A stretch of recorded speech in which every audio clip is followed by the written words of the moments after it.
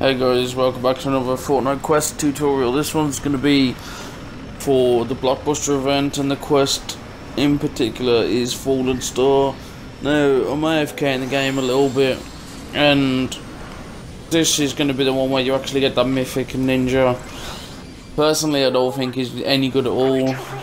Maybe he's got good squad bonuses, but I haven't really checked. But the easiest way to do this is just do any mission and then go around on the hoverboard. You have to explore a certain amount of the map to find him. He, he will be on there. So whenever you got the quest, just any mission and you'll find him down. Just gonna pop this chest first. There's it's uh, not a bad zone to get on in.